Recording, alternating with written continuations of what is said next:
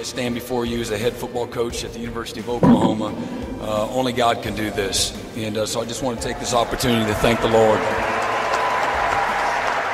What's going on, y'all? Michael Turk here, OU punter. I wanted to make this video because previous videos before I was saying I'm going to make the decision to either declare for the 2022 NFL Combine or stay here in college. You might be wondering where I am right now. I'm in the team room, and that's because it's a nice, cozy area, and I got the room to myself. I like to come in here from time to time just to read or just to chill out. It's a pretty quiet and peaceful place. Usually there's no music going on or anything in here. Hello? What's up, man?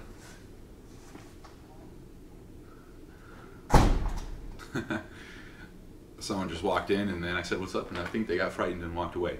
Let me read this Bible verse too before we get started. Proverbs 16:3. Commit your work to the Lord and your plans will be established. And Proverbs 16:9 goes on to say, man plans his way in his heart, but the Lord determines his steps. I want to make it clear that I would not be here without the Lord. I've been through a lot, three ACL surgeries. This is my third college. I went to the 2020 NFL Combine, came back. There's definitely been ups and downs too in, throughout my life and my college career. And no matter what happens, I know God is in control. And I'd encourage anyone listening to this to pray about their decisions they make in life. Humble them, humble yourselves under the mighty hand of God that He may lift you up in due time. And I, I know myself, I am by no means perfect. In fact, I'm a wretched sinner, much more than you all know.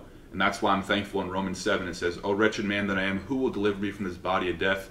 Thanks be to God that I have victory through Christ Jesus my Lord. And in the very first verse in Romans 8, it says, There is therefore now no condemnation to those who are in Christ Jesus. That's truly the most important decision is whether you give your life to Christ or not because at the end of the day, we will all be held accountable for our sin, but Jesus came to die on the cross for guilty sinners who repent and trust in him, and you know you can have eternal salvation, forgiveness, and redemption. But without further ado, the decision I'm making is to stay here in Oklahoma, Lord willing, go to the national championship, have a great year, finish strong. Pray next year we have redemption of a season, and that's why I am staying here in Oklahoma, using my last year of eligibility to be a Sooner. If you want to subscribe to this channel, go ahead and hit subscribe right now to join the Hang Gang. And this